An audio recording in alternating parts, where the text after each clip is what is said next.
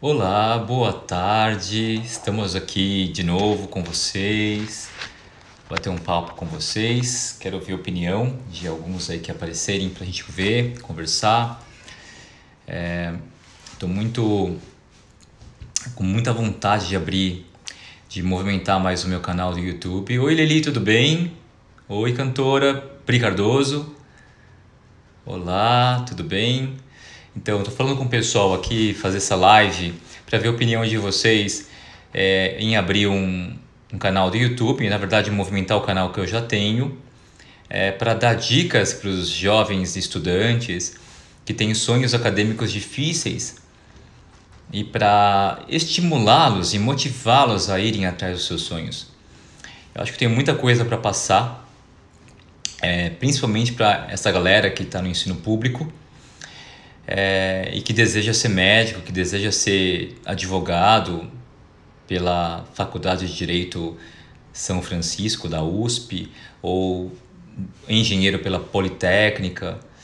Então eu estou muito inclinado a fazer esse tipo de vídeo para mostrar como são os passos para otimizar o caminho até o sonho. Né? E eu acho que é bem importante, não tem nada a ver com a medicina em si, mas na verdade tem também, porque é por causa da dificuldade que a gente vive na vida, é de todos os âmbitos, que às vezes a gente encontra caminhos que outros não encontraram, não sendo melhor que esses outros, certo? É igual, sendo pelo menos iguais aos outros. Então, eu acho que é interessante né? e algo que eu queria muito fazer, né? porque ao longo de toda essa trajetória a gente foi aprendendo a contornar as dificuldades é, utilizando criatividade, inteligência e otimização do tempo. Né? É, tanta gente precisa, né, gente? Tanta gente que nasce lá no bairro simples, em casa simples, e que apesar de bem na escola, apesar de gostar de estudar, acaba desistindo porque não teve um exemplo por perto para estimular essa ida, essa luta, esse caminho que é árduo, mas é muito recompensador, né? É, eu acho que eu estou bem inclinado e eu conto com vocês para divulgarem, né? Para essa galera de, quem sabe, 15 anos, 16 anos, 17 anos, a galera do ensino médio, né? E quem sabe até os mais novos, porque eu quero fazer um discurso que também ajuda o indivíduo lá que está na quinta série a falar, poxa, eu quero ser médico. Então, ele falou que ele, desde antes ele era bom aluno, ele sempre quis tirar boas notas. Então, eu vou começar a fazer e o canal se chama é, Reinaldo Yazaki, certo? Já está lá há uns 10 anos, eu tenho, 8 anos eu tenho mais ou menos isso esse canal, mas eu nunca movimento, porque não tenho tempo para isso, né? Mas já que estamos na quarentena, agora eu tenho tempo de ficar dedicando, né? E esses dias eu entrei lá, já tem 29 mil seguidores quase, né? E, e fui ver que isso não é um, esse não é um valor pequeno, né? De número pequeno de seguidores em YouTube. Então vamos aproveitar para desenvolver isso e com o objetivo nobre de ajudar a, a, aqueles que têm mais dificuldades para estudar, por estar em escolas ruins, por terem falta de professores ao longo dos semestres, é, por é, não terem estímulo né, é, da sociedade para que cheguem mais alto. Né? Então, vou fazer isso né? e conto com vocês para divulgar.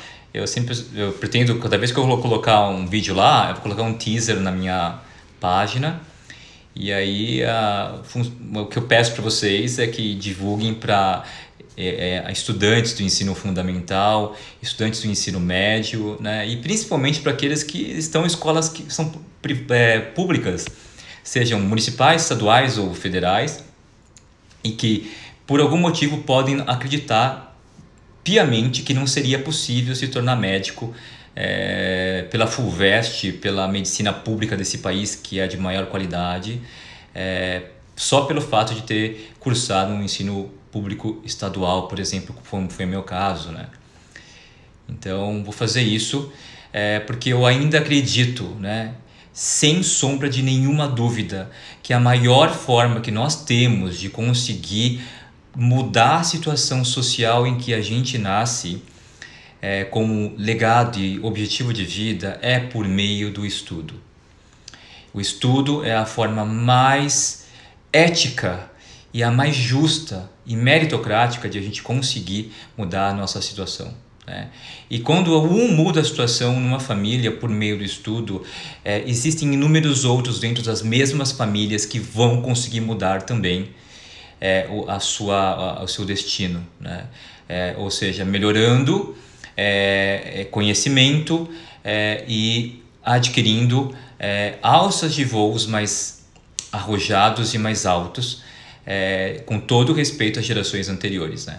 Eu acredito muito que viver tem relação com melhorar sempre, geração após geração, a condição daquele sobrenome, daquela família, certo? Então é isso, obrigado. Estou vendo que tem muita gente falando aqui, vou dar uma olhada nas opiniões, vamos ver aqui. E nisso já, a gente fala um pouco sobre voz também, tá bom?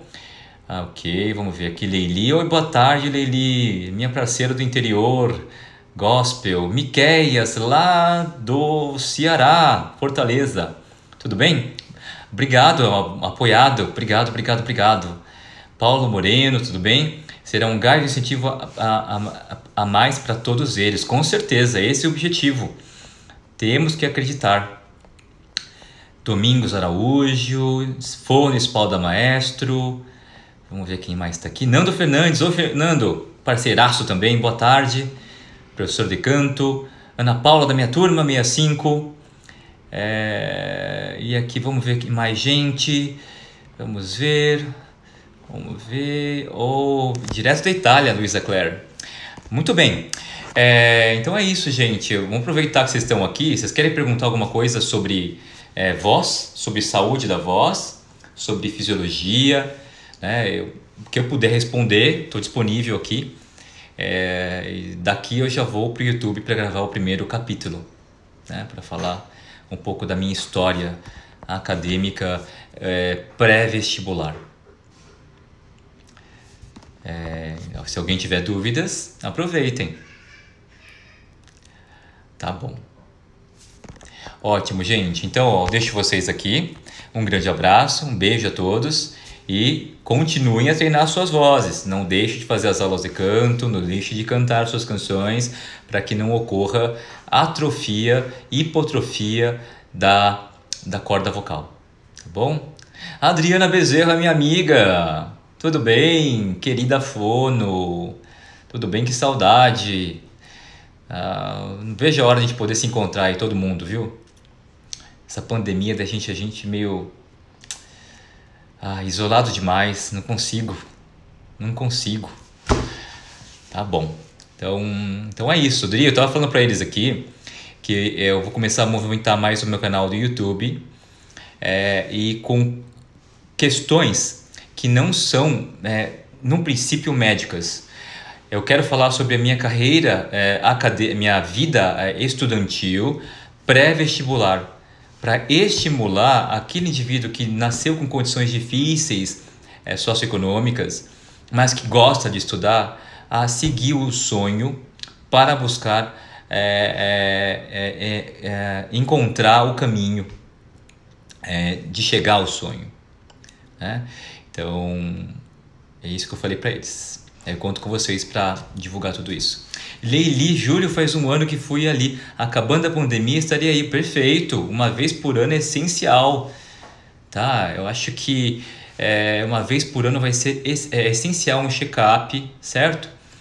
Tá? E, e eu pretendo, né, para aqueles que. Eu vou ajudar todo mundo, né? Durante, depois da pandemia, eu acho que é, todo ser humano tem que se ajudar, né? Então, eu vou deixar muito mais acessível a vinda de vocês por um tempo quem sabe por seis meses, quem sabe por um ano, né? Tá? E aí a gente consegue ajudar mais gente, certo? É, ah, Ana Paula, 65 da minha turma, é, tem, tem um super orgulho de você e toda a sua história. Obrigado, Ana! Obrigado, obrigado, obrigado, obrigado. Você que é da minha turma, patologista e também médica do trabalho. Muito importante ler isso de você, viu, Ana Paula Carvalho, mestiça da nossa turma 65. É, obrigado, é importante saber a sua opinião, já que você estudou comigo, né? Tenho muito carinho, lembro de você sempre com muito sorriso no rosto, sempre do junto do Márcio Masashi, da, do pessoal lá do, do outro grupo, né? Eu era de outro grupo. Mas é, nesses cana nesse canal do YouTube eu vou falar os detalhes, tá? É, tudo que eu lembrar eu vou falar, porque eu acho que pode servir de exemplo positivo, né? Porque felizmente a gente conseguiu contornar todas as dificuldades é, é, para essa população mais carente, né? Eu faço questão de passar isso adiante. Eu já faço isso no dia a dia para quem é paciente que vai no consultório. Quando eu percebo que existe a necessidade de falar um pouco desse estímulo, é, eu acho que a minha história ela motiva muita gente, né? né? E o que mais precisa essa juventude hoje acreditar que é possível, que existe mérito no trabalho e que esse mérito não, é, não vem em seis meses. O mérito vem depois de década, tá? No caso da medicina, depois de 15 a 20 anos de muito trabalho, né? Então, eu quero passar isso, tudo isso que eu, que eu fui vendo. E não pensem vocês que eu me acho melhor, não, de jeito nenhum. Eu só acho que eu fui um cara que olhou para si mesmo sempre. Né? Eu acho que Nunca me comparei a alguém, eu sempre soube que eu era eu e os outros eram os outros, né? E, e eu, eu precisava dar o meu melhor. E felizmente tem dado certo. E ainda tem que continuar dando, que ainda faltam mais de 30 anos para o final da carreira, né? Amém. Conto com vocês, meus parceiros aí, viu? Tá joia. Vamos ver aqui mais. É... Ah, usa, usa meu exemplo sempre que alguém diz que é impossível. Obrigado, Ana. Obrigado. Eu acho que, teoricamente, a gente nunca conversou sobre a, a história, né? Porque na época de faculdade, é, é, é, ainda mais alunos de medicina, todos muito hiperativos, né? Eu acho que ninguém está interessado em saber como é que foi a história triste do outro, né? Então, poucos queriam perguntar, né? E às vezes a gente consegue conversar sobre esse assunto com pessoas próximas de grupos é, do mesmo grupo, mas não com outros grupos. Então acaba chegando a quem sabe pela história bem resumida, né? Então não se, não se sabe quanto que se perde com esse telefone sem fio, né? De um aluno para o outro dentro da mesma turma de medicina. Mas lá no, no canal vocês vão saber em detalhes. E vai ficar lá guardado, vocês vão poder acessar, mostrar para quem quiser, para filhos, é, se gostarem dos vídeos, é claro, se acharem que tem, é, tem um efeito pedagógico, né? É, influenciador positivo, é, vocês podem indicar para pessoas da família ou, enfim, outras pessoas. Vamos ver mais aqui. É, vou colocar, vou começar hoje já, tá? Eu vou fazer, eu como eu não tenho tempo de editar vídeos, eu vou fazer live lá e a live vai ficar é, gravada. Saindo daqui eu vou para lá já. Vai ficar gravada para que vocês possam ver quando queiram, né? É, e vamos ver aqui quem mais está aqui. Obrigado, quanto, quanto estímulo, né? Isso é muito importante. Pacientes, parceiros. É ok, vamos ver aqui. Ser melhor a cada dia, exatamente, Luísa. Ser melhor a cada dia. É, você estava na minha sala, Ana? Ana? Você estava na sala 10, na sala 10, que era a sala 12 do, do Tamandaré, já não lembrava, tá vendo? A gente não lembra de tudo. Mas sim, foi lá no cursinho. É, é, eu consegui, eu trabalhava, eu trabalhava das 5 e meia da tarde até as 11 e meia da noite. Eu consegui, um, por causa disso, e porque eu pedi, é claro, uma bolsa de estudo para poder estudar. E no segundo ano, o chefe da, do setor audiovisual, que era onde eu trabalhava, do Anglo Vestibulares, Anglo Tamandaré, aceitou que eu, for, é, que eu estudasse de manhã. Isso foi um grande momento de estresse, né? Porque eu estava lá no, no, meu segundo ano de trabalho lá dentro. E eu tive que, é, infelizmente, por mérito, tá bom, gente? É, passar na frente de um monte de gente que esperava essa vaga para amanhã. Mas a mostrar meus boletins, meus boletins do curso noturno que eu tinha feito no ano anterior, trabalhando também à tarde, é, o chefe me colocou para estudar de manhã e foi o que mudou minha vida, né? E de manhã, estudando de manhã, eu consegui, desde o primeiro simulado, é, é, me elencar na melhor sala de biológicas é, da, da, do curso matutino do Anglo Tamandaré, que é um curso que naquela época colocava 90% dos seus integrantes, ou seja, de 140 a 120 mais ou menos, dentro das maiores faculdades de medicina do país. E dentro dessa, é, é, dessa sala, é, o grande estímulo que eu tive nessa época é que em todo o simulado eu estava entre os 10% melhores. Então estava entre os 14 melhores alunos da sala nos simulados e nessa sala, apesar de ter vindo de ensino público estadual, de ter trabalhado durante o ensino médio inteiro, eu consegui me manter o ano todo. Eu não caí um simulado sequer para a sala B. É, e isso para mim era um orgulho. Eu falo isso para vocês porque era isso que me motivava porque eu me sentia inferior, eu acho que é natural que isso aconteça, né? É, porque eu tinha tido um ensino médio muito ruim, estudado de noite, a maior parte do ensino médio para poder trabalhar de dia.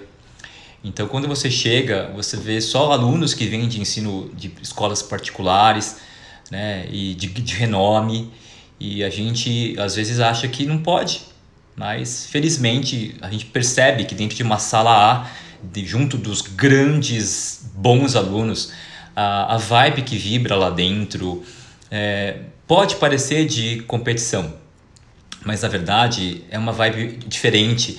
As pessoas querem é, é, conhecer pessoas que discutem coisas e que é, ensinam uma melhor é, um jeito mais fácil de resolver um desafio de matemática ou que discutem um ponto específico de história. Então eu acabei me encontrando dentro dessa, dessa turma porque as pessoas ao nosso redor e todo mundo sempre estava junto sempre, né? Era raramente mudava de lugar. A gente tinha é, uma um modus operandi semelhante, né? Nerd entende nerd, CDF entende CDF, né? Então era era bem interessante realmente é, mudou minha vida o ângulo da Mandaré, né? E claro, o meu jeito de ver o estudo e de aproveitar o tempo, que é isso que eu vou falar bastante é, nesse canal do YouTube. Tá bom? Vamos ver quem mais está aqui. Sara Roston, paciente. Quanto tempo? Vamos ver aqui. É, Cauã, oficial. Então é isso. É, é, você viu? Desculpa o cabelo, tá? Cabelo aqui. Ah, meu, o meu, o meu, meu cabeleireiro tá aqui. é, vou deixar crescer agora, viu? Decidi, viu, Gui? Vou deixar o cabelo crescer aí, vamos, vamos ver se a gente consegue bater um Chanel e depois vamos ver até onde vai. Muito bem, ok. Ok, muito bem, gente. Tô indo para lá, tá? E e por favor, divulguem, tá bom? O objetivo é nobre, não é ganhar dinheiro com isso, tá? É que é uma forma de passar isso para outras pessoas, tá bom? Então é isso. Abraço a todos, um beijo. Estamos juntos.